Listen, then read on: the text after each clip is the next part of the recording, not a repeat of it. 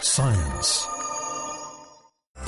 Here in this lab in France, researchers are producing energy from wastewater by cultivating microalgae in order to produce hot water and heating. Wastewater contains organic pollution, and this makes an ideal fertilizer for microalgae.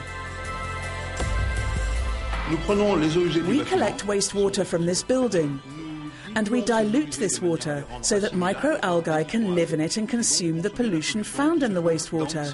The microalgae grows, and then we can separate them and produce oil and vegetable biomass, which is recuperated.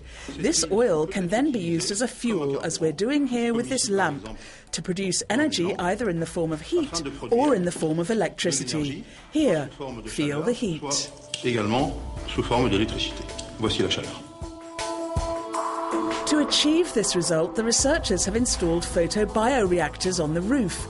These transparent tubes filled with what will become green fuel. Exposed to the light, the microalgae grow fast.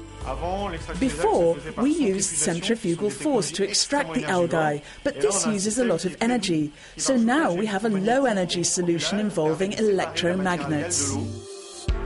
The fuel produced this way contains the same energy value as coal and at the end, the water is the same quality as rainwater.